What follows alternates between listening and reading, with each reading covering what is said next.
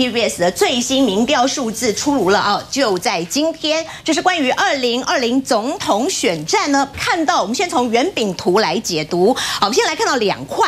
好，一块呢是这个蔡英文、朱立伦、柯文哲三强鼎立的局面之下，我们看到蔡英文已经表态要竞选连任，居然输这么惨，民调数字垫底，只有百分之十六，有这么低吗？有可能吗？我们稍后来讨论。好，不过关键在这里，看到没有？朱立伦也只拿到百分之二十九，而输给了柯文哲大概百分之十二。好，那这样的一个数字，事实上是有段距离的。如果呢是百分之二十九，这样朱立伦在这二零二零总统大选当中也可以说是出局了。好，那么另外呢来看到，如果换成了他呢？高雄市长韩国瑜，那当然最近劝进声浪很大，数字立刻飙升，立刻翻了过来，不一样哦。这个百分之三十七，韩国瑜赢了柯文哲的百分之三十五，至少赢了两趴左右。那么蔡英文呢，还是垫底百分之十六。好，所以换句话说呢，目前最新的这个民调数字显示，国民党内只有韩国瑜能赢嘛？好，江委员怎么解读？呃，我想这两份民调，昨天的另外一个报纸的民调跟这个 TBS 民调两个民调，其实第一个结论就是，应该如果这样下去选的话，那是蔡出局的啦。啊，对不对？这个这个趴数就是这样嘛。可他数字十六会不会太低啦？就就是当然比比其他民调看起来是低啦，哈。然后他重点是他跟柯文哲的差距可以拉这么大。我们刚刚虽然在讲说柯文哲跟朱立伦啊，那。柯文哲过去很多民调里面，他的确他也他也赢过朱立伦嗯，好，那这个份民调里面，他赢了百分之大概十二，对，是差距是比较大的一个啊。那这个这个蔡英文在这份民调里面相对是比较低的，尤其只有三个人在做比较。那这一份民调还有一个特点，就是说你注意他换了两个这个参与民调的人。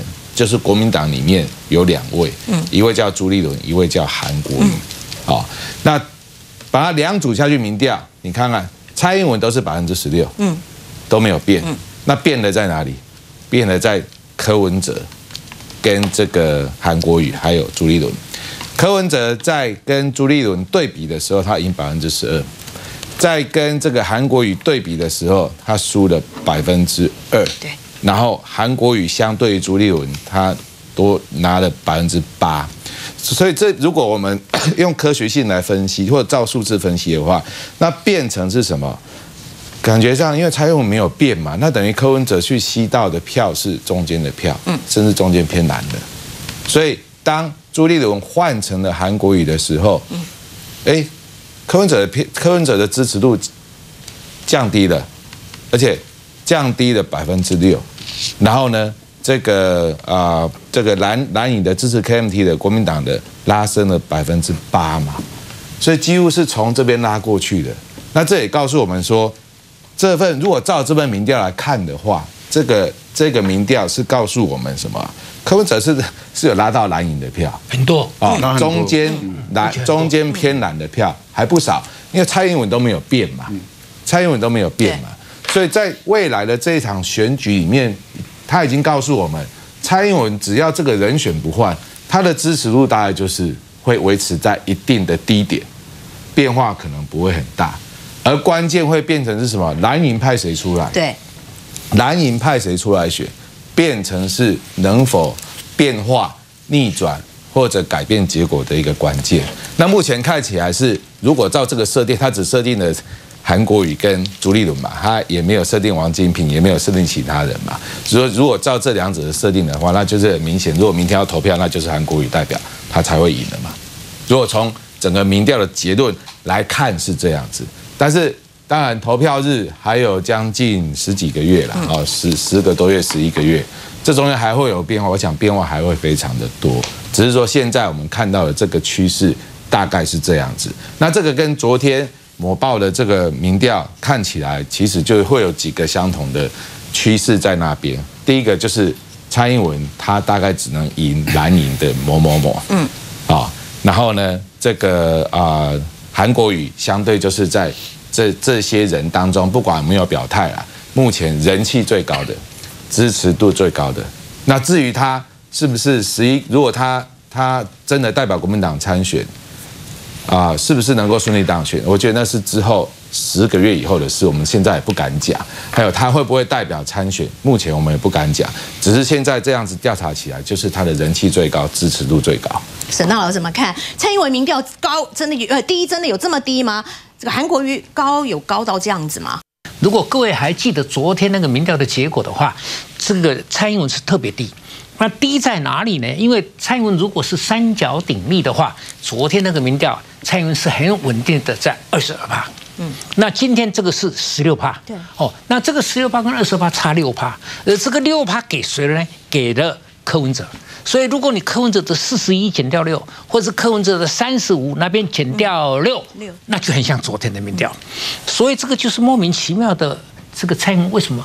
少了那六趴，而且那六趴是少的太奇怪了，简直比比杨文志还差。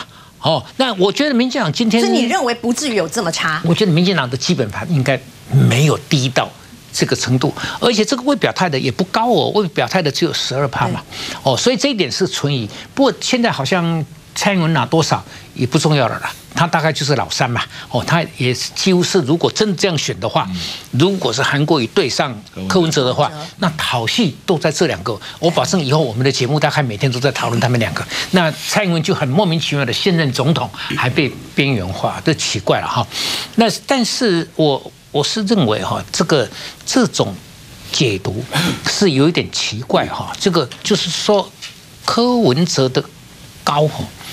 他如果换成国民党把朱立伦换成韩国瑜的话，柯文哲也掉了。他掉多少？他也掉了六趴。嗯，但是这个掉了六趴，刚好是去给韩国瑜，而没都没有去给那个蔡英文。蔡英文就是西迪亚给找了他美丁当了，对哈。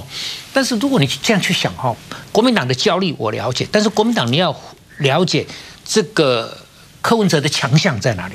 还有呢？朱立伦跟韩国瑜的差别，他各自的这个的优势在哪里？从这个角度去想哈，而且把情绪的成分拿掉的话，你就会想到说，到底谁比较适合拿这个拿出来代表国民党去选？因为现在柯文哲是年轻啊，对，高学历而且中立。那那这个韩国瑜虽然赢柯文哲比较有把握。但是他在年轻高学历方面是比较相对没有票哦，所以这方面韩国如果能够补这一块补回来的话，他就可以拉开跟柯文哲的差距。所以韩国应该在这一方面要稍微补救一下，应也许要来请教我们的万安同志哈，因为韩国就是办节目，我不是说他节目办的不好了，因为他正在蜜月期哦，都每下每样节目都是轰轰烈烈，就好像嘉年华一样，但是他很多节目。请来的来宾呐，东西都是我认识的。那认识也没什么不好。什么？哎，那我认识的来宾哦，怎么可以吸引年轻的那个高学历的票呢？因为那些年轻人喜欢的人我都不认识啊，所以我是很间接委婉的建议啊，这是不是没有道理啊？哦，那这个柯文哲的强项哦，我比较是认为是虚的啦。哦，哎，因为他是四十五岁。以下高学历，哈，高学历倾向中立，这些人是在找不到他们这个宣泄怨气的一个对象。但是柯文哲的，我昨天在本节目里头我有讲，我认为柯文哲，我昨天是第一次全国第一个讲柯文哲的锐气，柯文哲的要选总统的这种意志啊，其实在衰退中。哦，啊，因为你看在陈思宇大败那一天呢，我就讲柯文哲哈。恐怕这个脚踏车要一日双成，恐怕骑不下去了。哦，你靠靠公公拖来骑啊，情关熊，我敢没赢，我敢没赢，骑你到底都无人无人无设命了吧？哦，所以你看他现在改成二二八那一天要一日四成哎，哦，从台北到新竹，然后骑高，那个坐高铁回台北，然后重新来，要从又坐高铁一路就坐到台南了。啊，然后从台南骑到高雄，所以他真正，所以他真正骑的是。台北新到到新竹，台南到高雄，然后从台南到高雄，跳跳过台中，哦不，你在不准去啊？不是，我跟你讲，从新竹到台南这段好长哦，这段好长，所以哦增加了，变成四个城市，但是距离是大幅缩短，这代表什么？代表一不注意啦，一直让不让偶眼不让看，所以我调了没劲。没劲好。第二点呢，以前人家问他说啊，这生意哦，两个门两个门，他反了，他一共啊没门了，伟汉，你起得咁两个乱，哪个月开来门的哦？但是这两天他改口径了，他不说六月来问我，他说登记那一天，你看我有登记就是选，没有登记就是没选，啊，这根本是废话，对不对？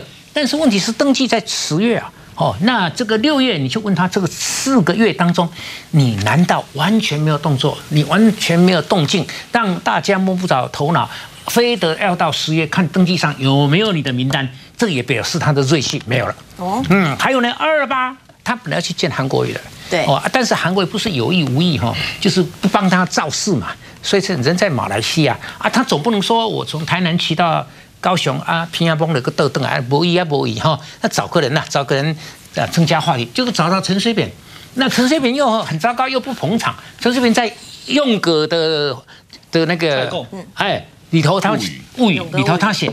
他来跟总统选举无关，他是来跟我讨论我的口述历史，因为阿扁要出版一本口述历史，这个哎，今晚科比跟他赢啊，根本那真的闲的舞台记者会去跟陈水扁讨论陈水扁的口述历史，真的是没事干啊，硬是把它凑成让二二八那一天像个样。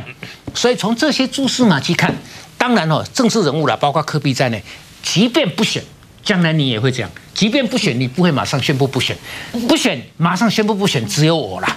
我四年前我就不选就不选了，我十八趴我选不下去，哦，那时候我觉得科屁好厉害，我选不下，我就说从今天起我不选了，哦，但是大部分人不会这样，为什么？因为大家都在刷存在感，你知道吗？对，你今天宣布不选，明天没有人来问你了，你知道，你会很寂寞，啊，所以。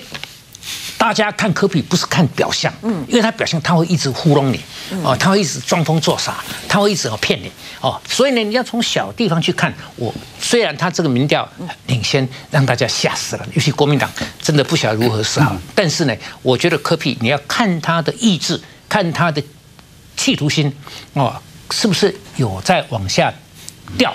我觉得要从很多其他小东西去观察。